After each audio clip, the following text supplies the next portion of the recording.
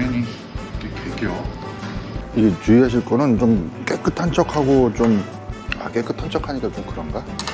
오늘 마무리를 좀 하겠습니다.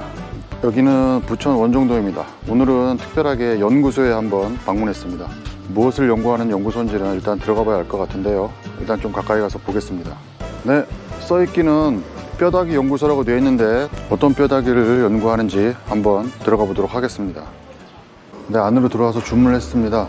여기는 눈치를 채신 분은 이미 눈치를 채셨겠지만 감자탕 집입니다. 뼈다귀를 연구하는 연구소라고 하는데 처음에는 체인점으로 제가 알고 있었는데 체인점이 아니더라고요.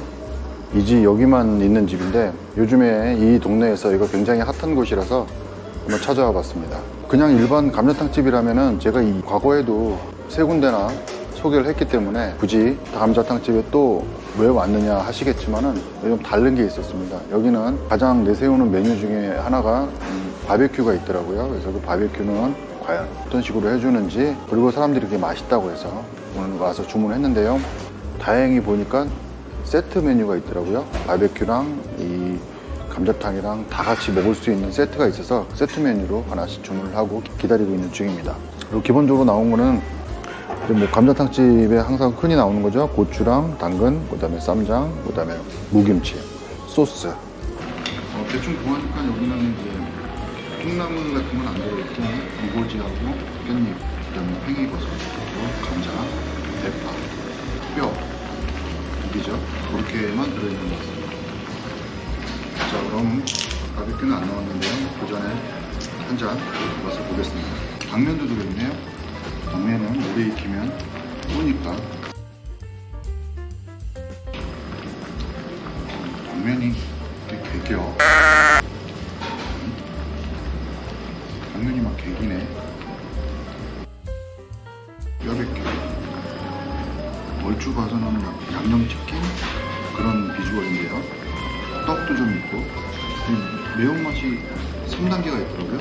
안 매운맛, 보통맛, 그 다음에 매운맛 지금 좀 매운맛으로 주문했습니다. 어떤지 맛이 어떨지 한번 맛을 보도록 하겠습니다. 한잔 하시고. 지금 냄새는 이렇게 냄새 맞습니다. 짭조름하면서 달짝지근한데 뒤에서 매운맛이 살짝 올라옵니다. 아 그래도 맞아 가면 풍립이라고 해서 팔죠 그거랑 거의 유사한 맛이에요.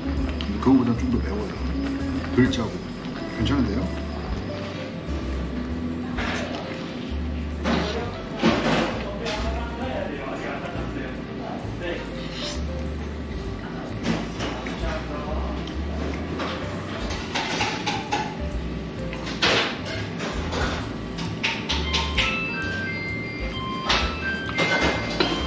일반 뼈보다는 음, 해장국 뼈보다는 살이 좀 많이 붙은 쪽으로 요리를 하는 것 같습니다.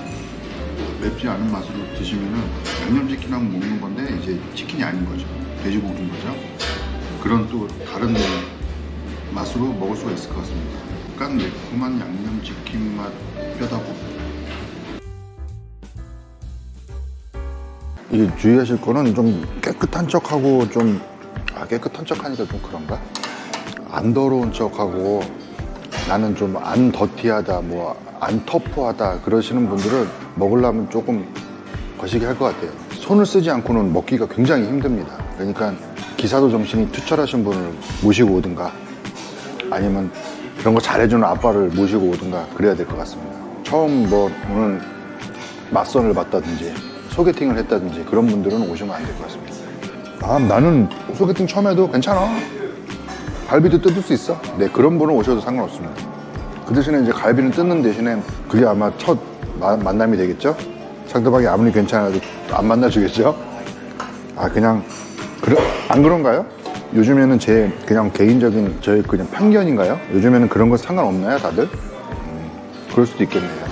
이 뼈베큐를 먹다가 감자탕을 먹으면 굉장히 슴슴합니다. 이 집 감자탕의 특징은 순하면서도 개운한 맛을 추구하는 것 같아요. 왜? 이 뼈베큐가 충분히 매콤하고 단짠하기 때문에 굳이 감자탕까지도 양념이 강렬해갖고 그럼 맛이 겹치잖아요. 그런 차원에서 순하게 했을 것 같다는 그런 개인적인 이제 추측입니다. 그러니까 오히려 그게 잘 맞는 것 같아요.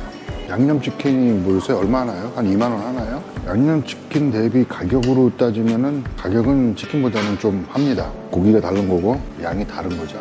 아까 최초에 여기 가게에 들어오면서 눈썰미가 있는 분은 보셨겠지만 가게가 1, 2층이 같이 있습니다. 겉에서 보기에는 처음에 지나가면서도 이게 카페인지 사진관인지 아니면 술집인지 판단하기가 어렵습니다. 우리가 생각하는 감자탕집 보통 분위기 있잖아요. 애들 막 뛰어다니고 막 그런 분위기 아니라 약간 카페 분위기, 레스토랑 분위기 굉장히 모던합니다. 저는 이런 것을 굉장히 개인적으로 좋다고 생각을 하는데요. 감자탕집은 통상적으로 항상 이렇게 약간 옛날스럽고 그래야 된다는 그런 고정관념에서 벗어나야 될 것 같아요. 딱 안에 들어오니까는 굉장히 밖에서 보는 것처럼 그 이상으로 되게 깔끔합니다. 네, 이제 뼈베큐는 다 먹고 하나 남았어요. 감자탕은 안 먹거나 새로 시킨 건 아니고 국물이 다 쫄아서 국물만 리필을 한 겁니다. 여기가 1층, 2층으로 되어 있습니다. 2층은 통창으로 되어 있거든요. 밖에서 보거나 아니면 안에서도 분위기가 굉장히 카페 같다고 말씀을 드렸는데 이쪽에서는 벚꽃 거리로 유명합니다. 벚꽃이 만발했을 때 2층 통창에서 창가에서 뼈베큐를 뜯으면서 내려다보는 벚꽃 안 어울리나요? 그것도 괜찮을 것 같습니다. 분위기도 굉장히 좋다는 거.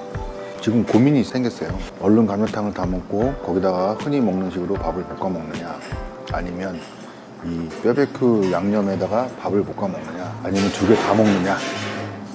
어떻게 하는 게 좋을까요? 고민입니다. 메뉴판 한번 봐볼게요. 어떻게 돼 있나? 뼈빈밥이라고 있네요. 이제 뼈베큐 먹고 여기다가 비빔밥을 비벼 먹는 거죠. 볶음밥식으로. 감자탕 후식 메뉴는 볶음죽이라고 되어 있네요. 흔히 그냥 감자탕 집에서 볶아 먹는 것처럼 볶지는 않고 죽식으로 이렇게 걸쭉하게 해서 먹는 것 같습니다. 그래서 죽을 먹느냐 아니면 뼈에다 볶음밥을 먹느냐 선택을 해야 될 것 같습니다. 어느 게 맛있을까요? 어, 뼈베큐는 지금 먹기 시작한 지 시간이 꽤 돼서 다 식었습니다. 그런데도 괜찮네요. 음. 여전히 맛있어요.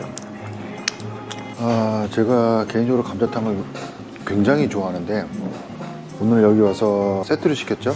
양이 굉장히 많습니다. 역대급으로 배가 부릅니다. 그래도 소주 한 병을 이번에 방금 땄기 때문에 또 열심히 먹어야 되겠죠? 어쨌든 오늘 마무리를 좀 하겠습니다. 뼈다귀 연구소 유명해서 왔는데 왜 유명한지는 알 수가 있을 것 같습니다. 첫 번째, 뼈베큐가 맛있다. 두 번째, 전혀 감자탕집 같지 않은 분위기지만 굉장히 깔끔하고 오히려 더 좋은 것 같다. 마지막 세 번째, 이거는 좀 아쉬움의 토로인 것 같은데 오늘 이 양념에다가 밥을 볶아서 먹고 싶었는데 도저히 양이 많아서 먹을 수가 없었습니다. 그래서 오늘은 결국은 볶음밥을 먹지 못하고 갑니다. 그래서 세 번째는 다음에 와서 볶음밥을 꼭 먹고 싶은 용의가 있다. 오늘 이렇게 세 가지로 정리하겠습니다. 오늘 뼈다귀 연구소 분위기 좋은 감자탕집 리뷰는 여기까지 하겠습니다. 여기까지. 술이 또 어느새 없네.